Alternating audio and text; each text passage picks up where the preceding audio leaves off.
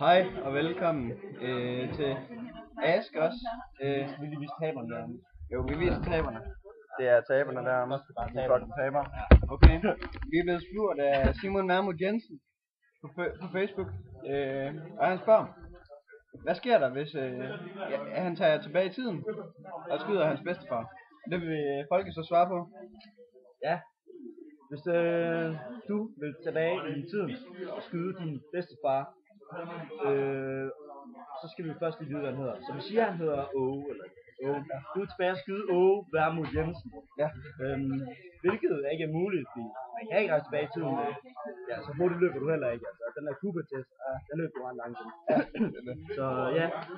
Øhm, men øh, hvis du gør det, så forsvinder du. Ja. Så, så ser vi dig ikke mere, og det er jo også meget fint. Så, Så det gør du bare, hvis du har Ja, ja. muligheden for det. Yes. Så det var svar på det. Ja. Næste. Hold pause. Det er bare sammen. Klar på den der nu. Ja. ja, lad os gøre det. Okay, så vi næste. Der er to. Ja. Okay, øh, så har vi Tobias Nørgaard Svendsen.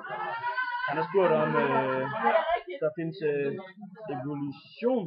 Evolution. Ja. Hvorfor der så stadig aber. Og det vil Kapper svare ud. Yes, kæberdrengen. Ja, øh,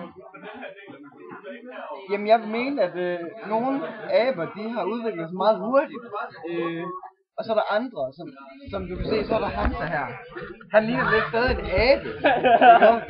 Så øh, Han er lidt langsommere. ja, det er ligesom, folk de ændrer sig hurtigt, og andre gør ikke. Det er ligesom svaret, ja. Det er godt. Ja, ja, var det det? Ja, det var det. Øh, ja, vi ses næste gang. Og vi skal nok huske at tagge jer. Husk Så I at, husk at subscribe heroppe og... Og især fordi I læg bliver vant til, i skal I reklamere for det her nu. Ja. Så godt. Ja, mand. Tak. Subscribe, like og alt det der comments. Hej hej.